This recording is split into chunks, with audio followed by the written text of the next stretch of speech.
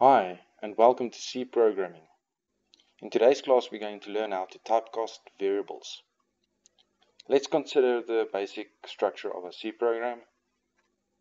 And we're going to add two variables called int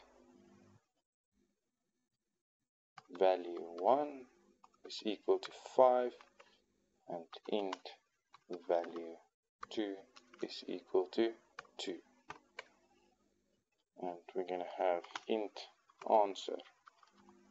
So what we're going to do is we're going to say answer is equal to value 1 divided by value 2. Now we've seen an, an example more or less in the same way as this one before, where we changed everything to floating values to have the correct output. So let's quickly do that. So the answer is percentage f. So we changed everything to floating points with only two values after the comma. And we said answer. And we changed all the floats, everything, all the variables to float. And we can quickly run it and see what's the answer. So the answer is 2.5. Just add a new line. So the answer is 2.5. But let's say, for instance, we come across a problem where we have integers and we can't change it back or change it to floating values. We need the integer the values or the, the variables to be actually integers and we can't change it to float.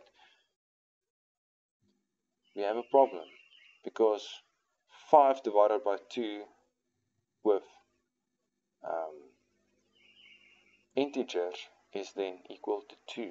Let's quickly just go and test that. If we just take the answer of, of 1 divided by 2, value 1 divided by value 2 using integer, the answer will be 2. So let's quickly go and verify that. Now the reason why this answer is going to be equal to 2 is because Integers can't handle anything after the comma. It throws it away. So 5 divided by 2 is 2.5, but the 0.5 is thrown away. So we're left with 2. And that's a little bit of a problem. We actually want the 2.5.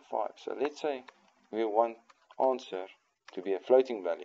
And we hope that if answer is a float, then 5 divided by 2, we will store that 2.5.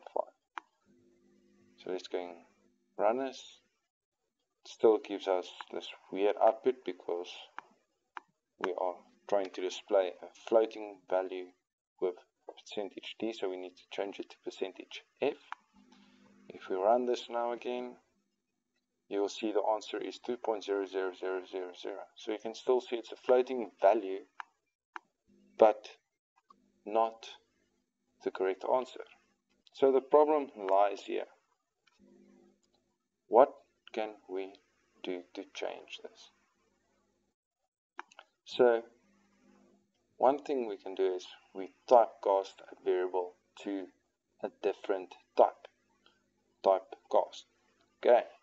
So what we normally do is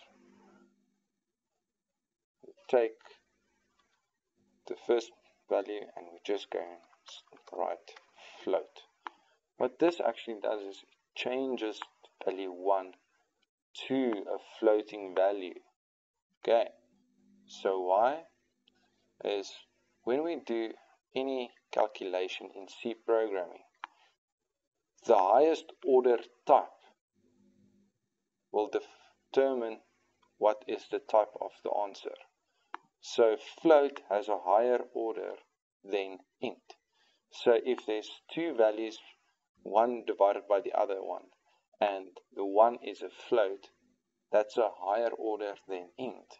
And then the answer will be of type float.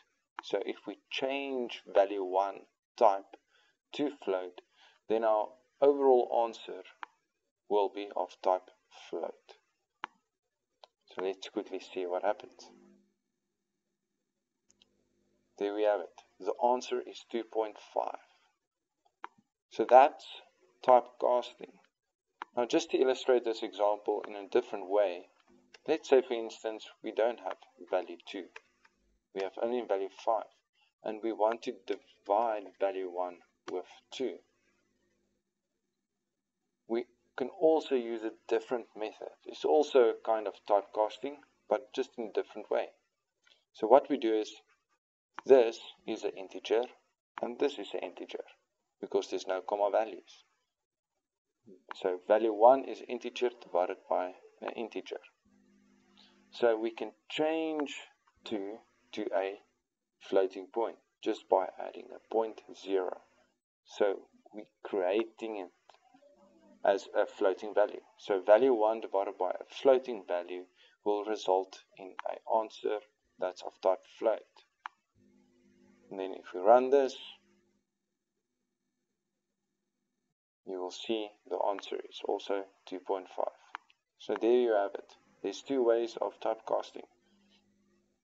The original me method where we use round brackets with float and we're forcing a value to a different type in order to have a, a different type so that we can obtain a different type for the answer for instance and we can also use just a basic method of when we have a value we add a point zero to have a floating point a floating value and a floating value that will determine the type of the answer. Thank you very much for watching and I hope to see you soon.